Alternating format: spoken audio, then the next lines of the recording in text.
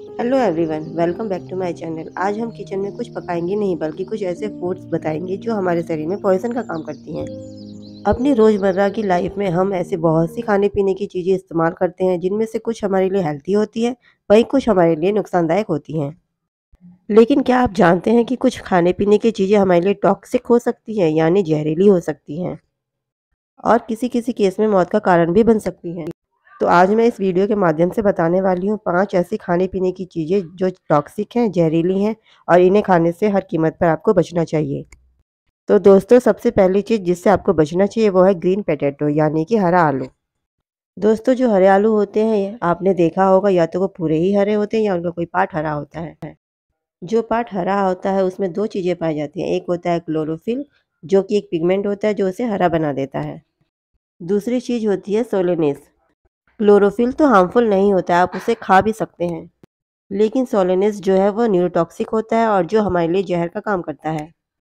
तो अगर आप ऐसा आलू ले लें जो पूरी तरह से हरा हो तो उसे फेंक देना चाहिए। या तो किसी आलू का कोई पार्ट हरा होता है तो उस हरे पार्ट को काट कर फेंक देना चाहिए। तो ग्रीन पोटैटो से हर कीमत पर आपको बचना चाहिए, उसका इस्तेमाल नहीं करना चाहिए। दूसरी चीज़ है नटमेग यानी कि जायफल, जिसका इस्तेमाल आपको नहीं करना चाहिए, वो भी हमारे लिए टॉक्सिक हो सकती है। जायफल का अगर हम डबल डोज ले लेते हैं तो इसकी वजह से भी हेल्थ प्रॉब्लम हो सकती है।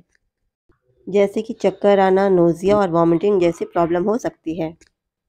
तो अगर आप इसे कुछ मेडिसिन के रूप में इस्तेमाल कर रहे हैं, या घरेलू नुस्खे के रूप में इस्तेमाल कर रहे हैं तो ध्यान दीजिए कि इसकी ओवरडोज ना हो जाए।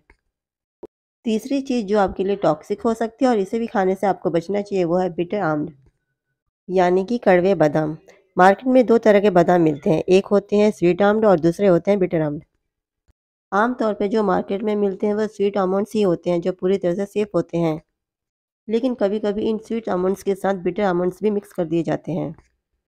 और बिटर आमंड्स के अंदर टॉक्सिक सब्सटेंस पाया जाता है, जिसे कहते हैं हाइड्रोजन साइनाइड और साइनाइड दुनिया का सबसे खतरनाक पॉइजन होता है।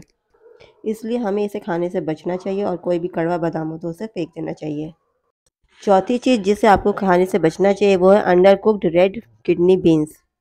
यानी कि ऐसी राजमा जो पूरी तरह से पकी नहीं हो। राजमा में लैक्टिन टॉक्सिक होता है, जो राजमा के पूरी तरह से पकने के बाद ख़त्म हो जाता है। लेकिन किसी कारण से राजमा अगर पूरी तरह से पक नहीं पाता और उसे हम कच्चा ही खा लेते हैं तो वो हमारे शरीर के लिए हानिकारक हो सकता है।